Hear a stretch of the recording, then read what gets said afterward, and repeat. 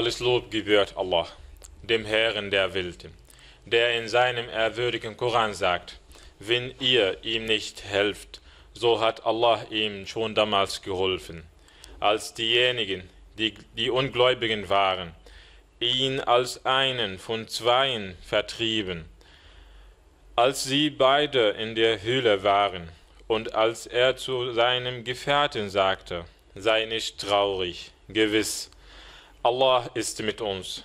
Da sandte Allah seine innere Ruhe auf ihn herab und stärkte ihn mit Herrscharen, mit Herrscharen, die ihr nicht saht, und erniedrigte das Wort die, die, derjenigen, die ungläubig waren, während Allahs Wort durch das Schuhe ist.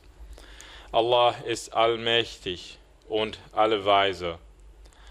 إلا تنصروه فقد نصره الله. إذ أخرجه الذين كفروا ثاني اثنين.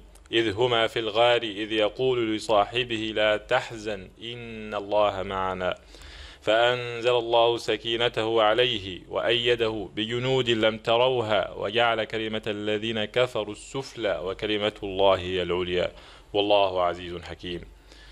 Ich bezeuge, dass es keinen Gott außer Allah, dem einen ohne Teilhabe gibt und dass unser Prophet Muhammad seinen anbietenden Diener und Gesandter ist. Allah Segen und Friede seien auf ihm und auf all seinen Angehörigen, seinen Gefährten und, die, und denen, die ihnen bis zum jüngsten Tag aufrichtig folgen. Es geht heute um das Thema Lehren oder Lehren aus der, aus, aus der Auswanderung des Propheten sallallahu alaihi wasallam beziehungsweise Al-Hijra. Liebe Schwestern und Brüder, im Juli des Jahres 622 ist die Lage in Mekka lebensgefährlich geworden. So hat sich der Prophet sallallahu alaihi wasallam mit seinen Gefährten auf sich auf den Weg von Mekka nach Medina gemacht. Die Auswanderung, die sogenannte Hijra, beginnt. Wenn wir über die Auswanderung des Propheten alaihi wasallam nachdenken, leiten wir großartige Lehren ab, anschließend der, der Notwendigkeit, die entsprechenden Mittel einzuleisten. Es ist ein wesentlicher Bestandteil des islamischen Glaubens. In diesem Sinne sagte der Prophet sallallahu alaihi wasallam, würdet ihr wahrhaftig auf Allah vertrauen, würde er euch versorgen, genau wie er die Vögel versorgt.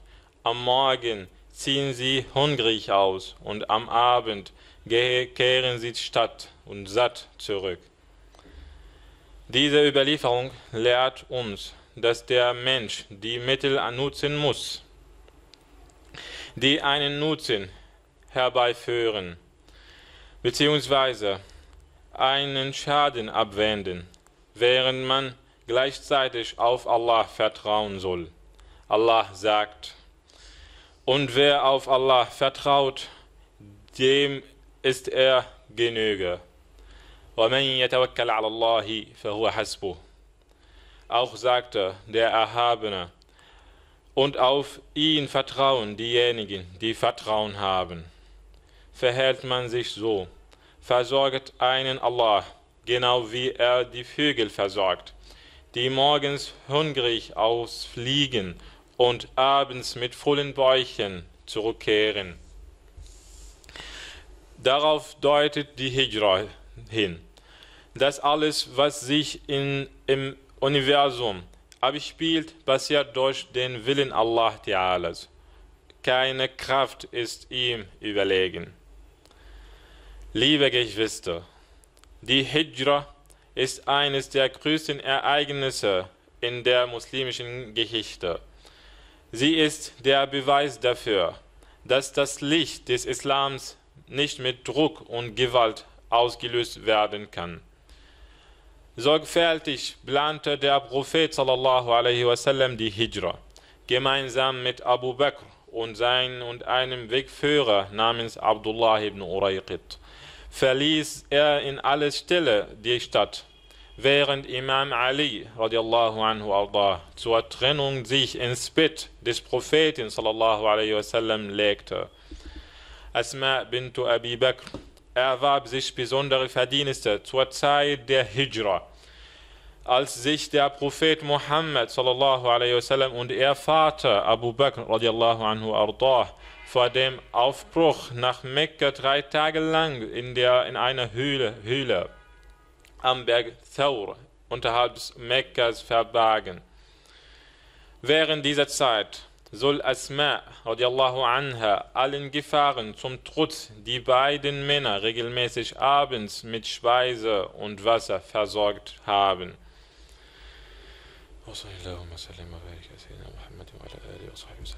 Alles Lob gebührt Allah und Friede sei auf seinem letzten Gesandten Muhammad und seinen edlen Gefährten.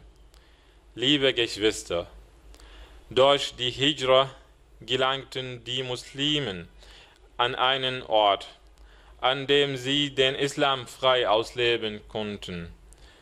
Ohne gute Planung und Vertrauen auf Gott, Tawakkul, wäre die Hijra nicht gelungen.